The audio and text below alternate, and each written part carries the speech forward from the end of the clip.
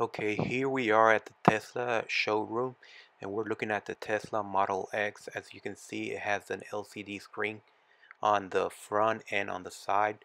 So anything you do, anything you want to change, you want to change the AC, you have to look away from the road and start uh, messing around with an LCD screen.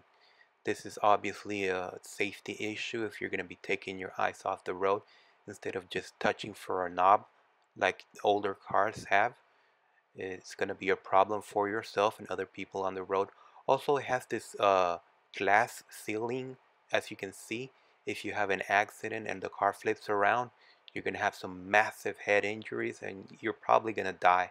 So I don't know why they would put glass up there. It's, it's just a terrible idea.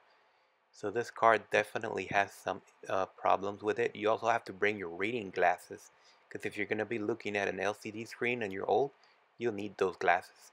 Outside is a great car as you can see it's very nice very stylish I like it. Overall it's a great car but you do have to consider those drawbacks. Thank you for watching Skywind